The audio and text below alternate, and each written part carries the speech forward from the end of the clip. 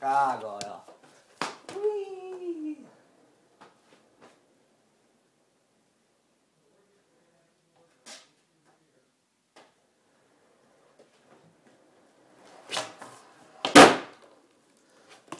Hello, this is Cowenleetin. That trick you just saw is what you're gonna learn. It's called 540 Jew Africa. Just kidding, it's called a gargoyle. Uh, alrighty. Um, this trick is kind of a mix between the Pegasus and the unicorn. Um, I'll put links up in annotations uh, to those. The unicorn is done by Quaban Carl, and the Pegasus is done by some other dude. Alrighty. What you're gonna need to know, well, what it helps if you know, if you know either two of those tricks, the uh, Pegasus or the unicorn, those help a lot, but you don't have to know them. I don't know them at all. Then it also helps if you know how to um, no comply 180 or no comply shove. But once again, you don't need to know those. Those just help with the pop. Alrighty. What you're gonna do for this trick is you're gonna be riding. What the trick actually is is you're gonna be riding, pop, catch it by the trucks, and then you're gonna continue that swing and jump onto it. Alright. Way you're gonna go about doing this is first thing you gotta know is the scoop, which is probably one of the hardest parts of the trick.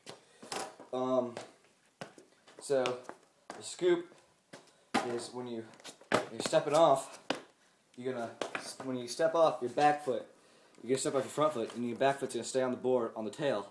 And you're gonna have when you have your back foot on the edge of the board, like kind of on your heel side rail of the tail. And what you're gonna do is you pop it, you're gonna kind of scoop it out a little bit. Just it's gonna kind of come naturally, especially if you already know how to um, no comply 180 or no comply shove. Um, if you do know how to no comply 180 or no comply shove, one thing you gotta remember to do is um, you're gonna pop it instead of popping it so close into you because you're not gonna actually jump over the board. You're gonna catch it, and so you're gonna pop it a little bit farther out. Let it ride out a little bit, then catch it. You're not gonna just pop and jump over like a no comply. And that brings me to the next thing, which is the catch. So you're gonna pop it, and you're gonna catch it by its trucks, which is still a unique kind of way to grab a board and a trick.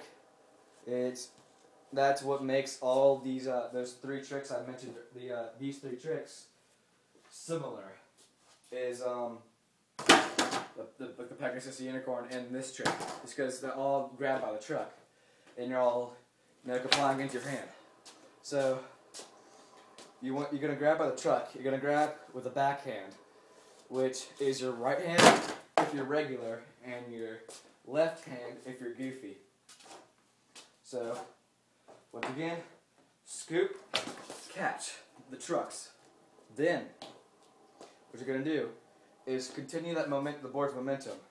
You're gonna swing it around and let go, kind of right there, and that should let it just kind of do its thing and go land on the board perfectly. All right. Um, and that kind of leads me to the next thing, which is landing. Landing, you're gonna land switch just because that just makes it a more fluid feeling trick. And that's the only reason I like it over any other grab trick.